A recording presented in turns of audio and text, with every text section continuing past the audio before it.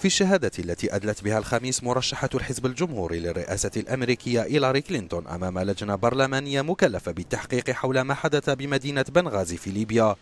وزيرة الخارجية الأمريكية السابقة تجدد مسؤوليتها عن الهجوم الذي طال سفارة واشنطن في ليبيا وأدى إلى مقتل السفير كريستوفر ستيفنز وأربعة جنود في العام 2012 أتحمل مسؤولية ما حدث بمدينة بنغازي في ليبيا. وبشرت قبل مغادرة مكتب الخارجية إصلاحات لحماية المنشآت الدبلوماسية الأمريكية. والحد من الاعتداءات من أجل تفادي مأساة أخرى في المستقبل.